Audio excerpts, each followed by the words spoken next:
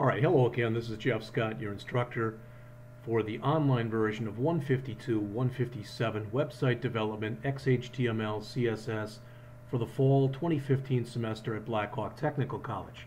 A couple things before we start. I'm going to add the contact form in just a minute for the Trump site. Uh, good news, under the issues, I fixed it. All right. Now, I'll show you my fix, and it may not mean anything to you, but I, I just want you to see it anyway. What I want, what I added was I told it when you load the body of the issues.html file, call that hide all divs to hide everything, and that appears to be working. Okay, so what I'm going to do is I'm just going to grab this file that we've got right here all right, which was the issues.html. I'm going to do a file, save as, and I'm going to save it to contact.html. All right.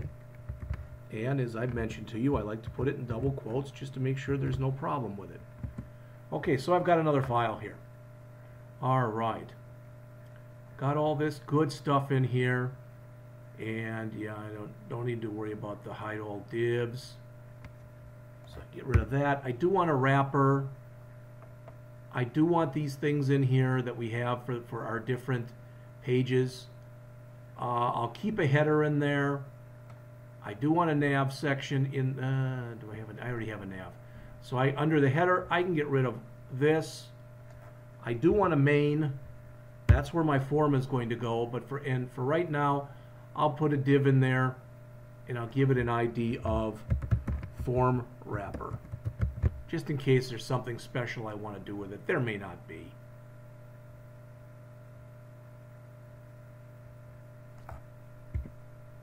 All right. So there's not much in here right now. So Donald Trump on the issues. Uh, Donald Trump. Let's contribute. All right, we'll make it a contribution form. This will now change to contact.html. All right, and I've got to change all the other ones that have that in there. So it now says contact.html. So I've got, uh, let's open, and we'll open our candidates. Our, we already have the contact open, our index, and our issues. Let's open those. There's issues. And we want to now put that contact file is operational, so we should be done with issues. There's index. That'll again change that contact. All right. Should be able to save that and close that. And our candidates file also, same kind of thing. All right. So, done all that. Let's check real quick. So let's refresh.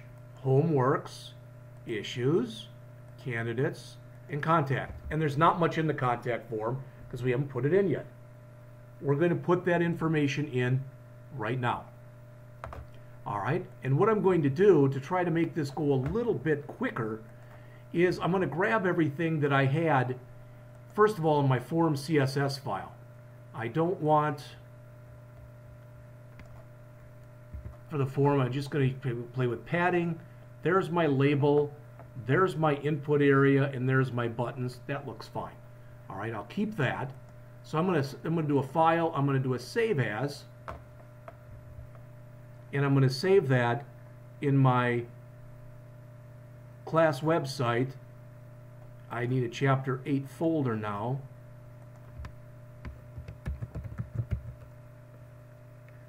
I guess it's a chapter 9 folder.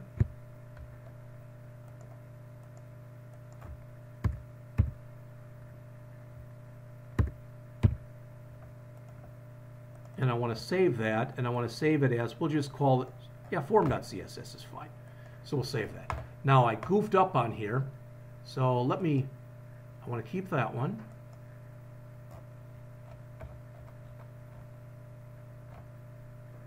That's the one I did as an example in class. That I now have, and it's okay. And that contact I'm going to remove. So what I want to do first is I want to come into my class website. I want to grab everything I had in chapter 6, all these files, copy it to the clipboard, go into my chapter 9 folder, which now has just form.css, and paste that in. All right, that form.css is going to go into my styles folder. So I'm going to move that there. Now, just because it's good practice, I'm going to go back to all these because I didn't have in chapter 6, I didn't have a contact form. All right, so I'm going to open up these other three where I made the change and I'm going to change it back to the way it was previously. So we've got that contact. I'm just going to say change that back. Yes. So candidates is now okay. Issues is now okay. And index is Oops, I didn't want that. Just want the pound sign. So those are now all fixed. All right, now, uh, file, save as. I'll have to save this as index 2. I hate this. All right, remove this, keep that. Give me just a second. I, I'm, I apologize for this. Don't need that index file anymore. This will now be index 2. I'm sorry, just index, sorry. So let's open that and make sure we didn't break anything. So home, issues, candidates, and contact doesn't do anything. That's what I wanted. That's the chapter 6, the way it was looking. All right, now I want to close this. Want to go to my chapter 9 folder. And now I'll open up all of these, just, well, no, I'll tell you what, I'll just open up the index to make sure. So now I should be able to go to issues, to candidates, and to contact. Good. So the only one I want to change now, so I go from issues to candidates, issues to contact, candidate to issues, candidates to home, candidates to contact, contact candidates, contact to issues, contact to home. So I checked all my links. Everything seems to be linked up okay. Now I want to grab this file right here, this one, which I now have open. And whoops, and it's, uh, I don't, well, let's close that. Which I now have open here, and it's open as form.html. So I'm going to grab everything that's in my form from the beginning of the form tag on. So all that.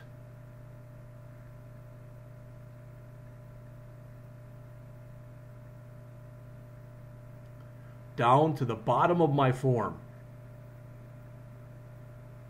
See, there's several lines. There's more than, you know, like close to about three or four hundred lines in here. Might even be more than that as I'm working my way down. All right, so we'll keep it, let's see, we want,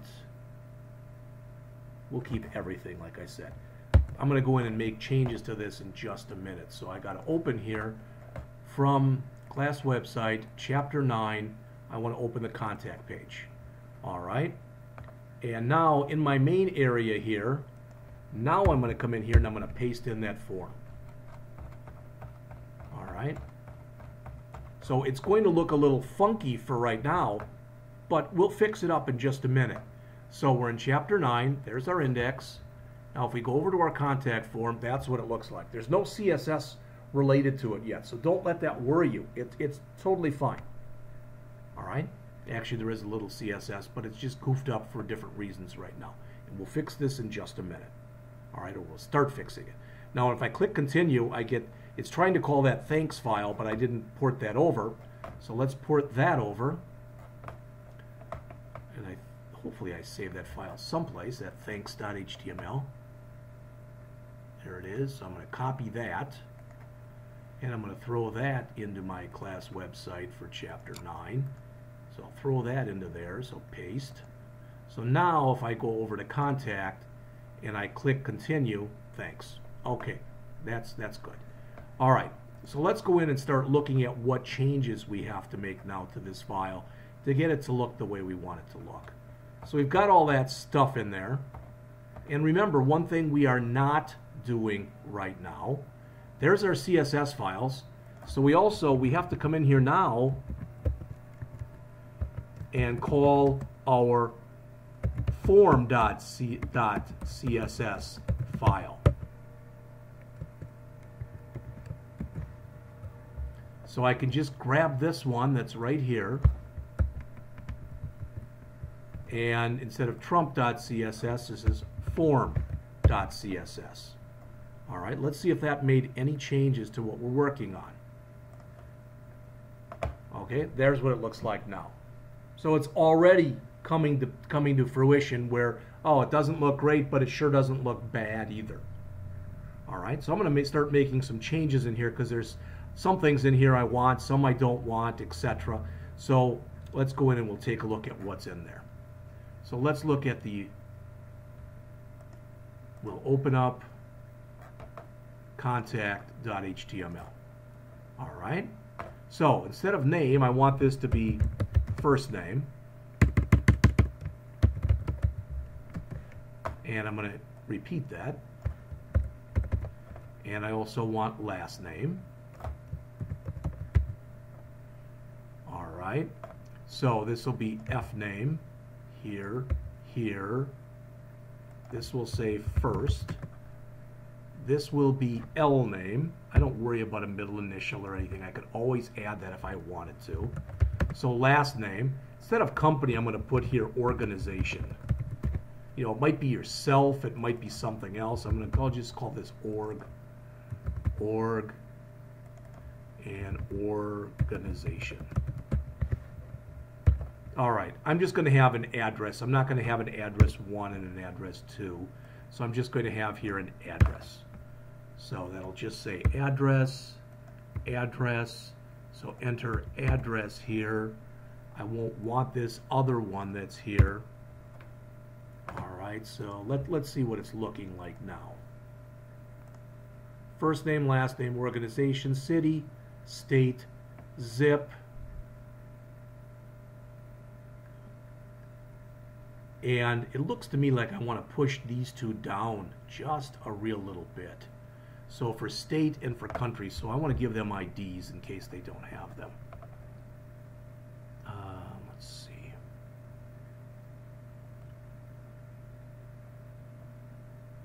Select ID equals state. And where that said right here, 4 equals, that should have also been state. All right. And for country, I think we already put one in, and that's country. Okay. So I'm going to go back to my form, C whoops, my form CSS file. Let's open that one up. And there's not really a lot in here. All right, so for the form, um, let's see, I've got the buttons, input text area, etc. I'm going to come in here and I'm going to say ID state and ID country.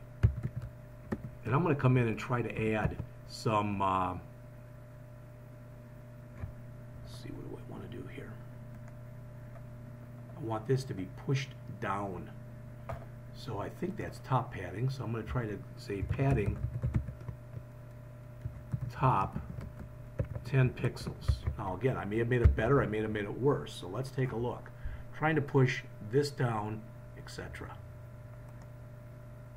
Whoa, that did some magical stuff, didn't it? Well, when that kind of stuff happens, the easiest thing to do is just remove what you just did.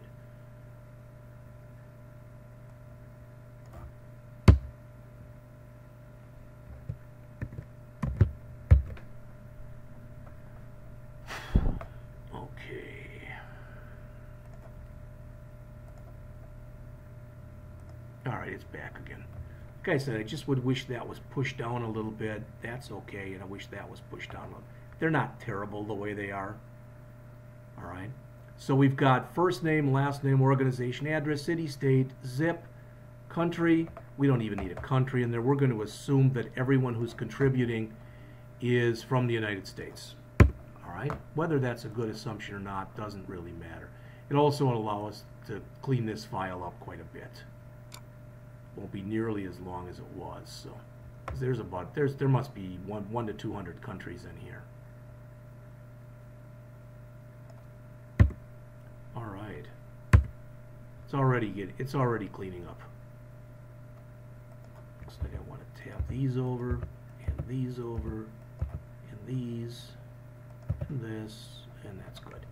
All right, so now let's see what we have. Okay, the country will disappear as soon as we refresh. All right, so what do we have? First name, last name, organization, address, city, state, zip, email address. We don't need a favorite URL, but a phone number would be nice. All right, so we'll, we'll put that in there. So we'll re, we're going to remove the favorite URL.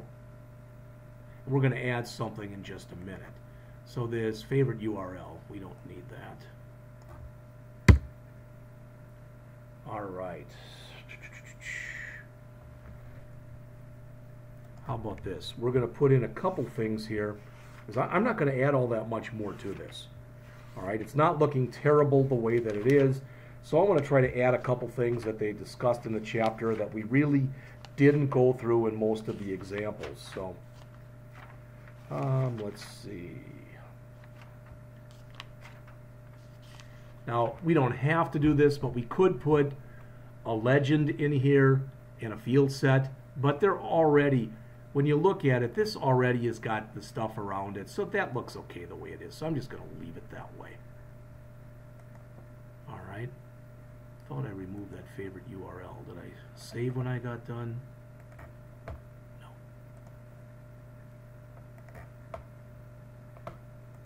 All right, so that's gone. All right. I'm going to put in here um, checkbox and a radio button. Okay? And it's going to push that way down. So I'm going to try to do the best I can so it doesn't, so we still have everything on the same page. But that's what I'm going to add, and I'm almost going to be finished with this. So after all my stuff, but right before my buttons, which I'll fix those also, I'm going to come in here and I'm going to say um, input in input type equals checkbox. Name equals we're going to call that email. ID is going to be equal to email. And value is going to be yes. You'll see all this in just a minute okay? Um, and we'll put in here email. Then we don't want a BR here. We want a couple NBSP tags. Let's put in three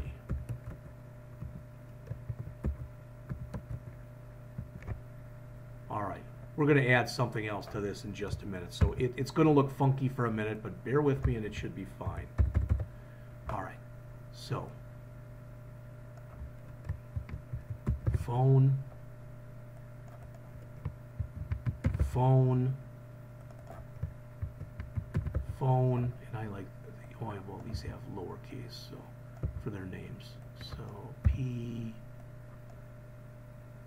P, this will say USPS mail.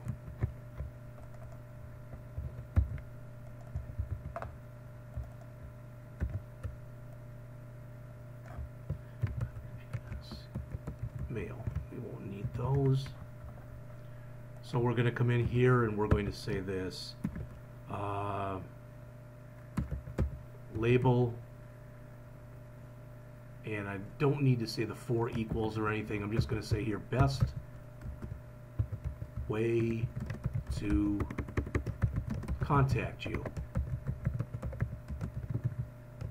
Leave it like that. Label. Again, this may not be perfect, so I may have to make changes when I get done. So let's see what we just did. All right, best way to contact you, so it's not wide enough. And we want the email, the phone, all that stuff. Okay. All right, so we'll have to fix that. And those aren't formatted yet, and that's why it looks so funky. Uh, I'll change this from best way to contact you to contact contact you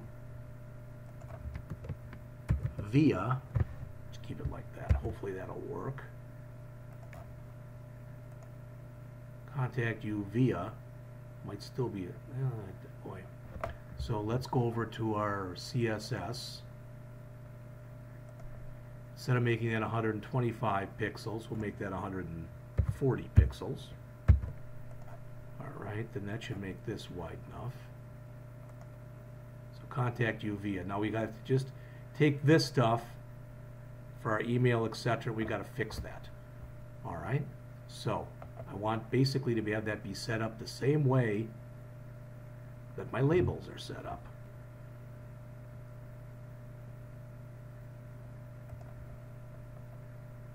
Fallway bold, I want to float.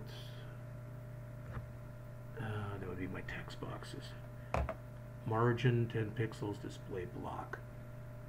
Alright, and I think I want these to display inline. So we're going to see that right now. Um,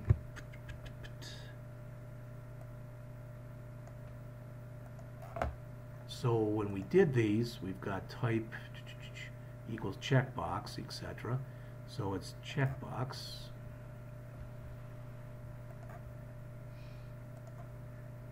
We got buttons. So for our checkbox,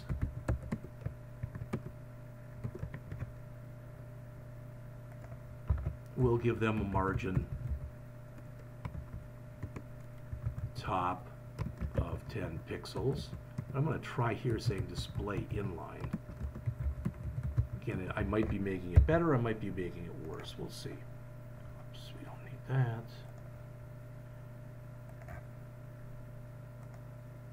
And that did absolutely nothing.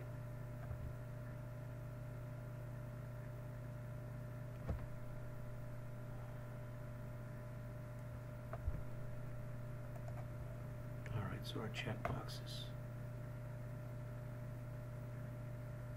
What if we float that to the right? It's the problem when I do something like this, and I'm doing it off the top of my head here. And that didn't do anything.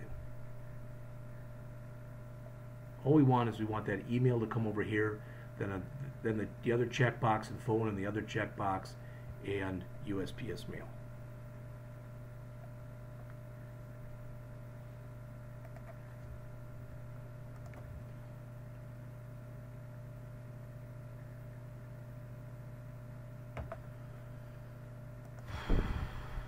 For the text areas, that shouldn't be blocked though.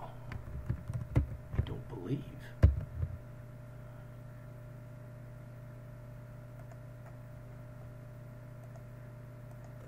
Okay, it doesn't like anything that I'm doing in here.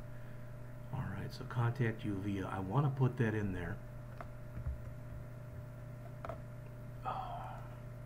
Tell you what I'm going to do. I'm going to think about this, so I'm going to pause the video, and as soon as I come up with the answer, I'll come right back at you because we're 23 minutes in already. All right, I'm back. I figured out most of the problems that I had, and here's my final form. I did put in some HTML5 stuff that really isn't listed in much detail in the book. Every field that's in here is required, so notice if I leave one off, it says please fill out the field. Go and fill out my first name, and I hit continue. Now it says please, please fill out the field. Alright, so if I do fill in everything, it's the wrong zip code, and I'm still not sure why it looks like that, but it does. Now notice if I put it in, I put a zip code in there incorrectly.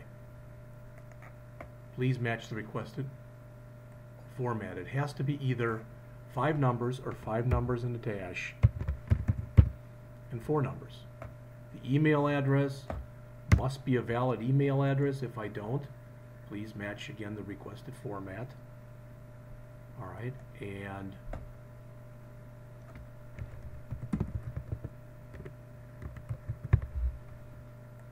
for that, and the phone number must be in a number, number, number, dash, number, number, number, dash number number number number format. I also put in radio buttons and check boxes. Alright, so if everything is okay and I click continue, I go to my thanks. If I want to, I can clear everything out at once. Alright, so what I'm going to do is very quickly just walk you through what I did here. Alright, so I changed this up a little bit. Where are we here? I don't want, yeah, on the contact form. I changed it up a little bit. I said, uh, let's connect. All fields are required, and I made this red and bold. All right, I broke this up so each thing was on its own line so you could see it. So for each of the text boxes, they have a label, they have the type equal text, they've got their own name, their own ID, which matches the name, size, which is the size of the text box. I made it 40 for all of them. Then the max length. I made everyone required and I put in a placeholder. So I did that for first name, last name, organization, address, city, state. I did the same way as I showed you in the in the in class. Zip code, same kind of thing. Notice I made the max length 10 because it's 5 with a dash and 4 or just 5. All right? So the max length has got to be 10. This says five digits right there. Backslash D means digits and five of them. Since this is in parentheses, this means that it's optional. If you use it, you use a hyphen followed by four digits. So that's why it says the format is either NNNNN or NNNNN-NNNN. The email address, I made it type email all right. The phone number, I just set it up. I made it real simple. And notice I showed another way that you can do these. So these are regular expression patterns. And I showed you another way you can do the patterns. So that says any digit 0 through 9, three, three of them followed by a dash. Any digit 0 through 9, three of those followed by a dash. And any digit 0 through 9, four of those. The gender, I made a radio button. The employment I made full-time, part-time, or either one. I put a blank label in here so it would line up. And here are my buttons. All right. And again, it's far from perfect. I have my own CSS just for this particular file. So not only do I add the trump.css, but I've got the form.css in there also. So again, you'll see that when you run it, that's what it looks like. It is far from perfect. Okay, so now I got my home done, my issues done, and it works. All right, my candidates page is done, my contact page is done. Next, I'm going to go over chapter 10, and chapter 10, there, there will be no update to this website on it, but chapter 10 was on web development. Then when I get to chapter 11, in chapter 11, it's on web multimedia and interactivity. So someplace in one of these forms or somewhere, I'm going to try to, you know, maybe even in here, try try to put in some kind of a little YouTube clip or something from Donald Trump. I'll do that. Then in chapter 12 is on e-commerce. And if I can, I'm not sure if I will or not, I might try to have a thing where you can buy a Donald Trump button or a Donald Trump hat or something. If I have time, I'll do that in uh, chapter 12. Chapter 13, there will not be an update to the website. It's on web promotion.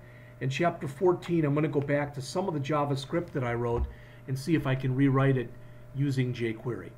All right, so that's it for right now.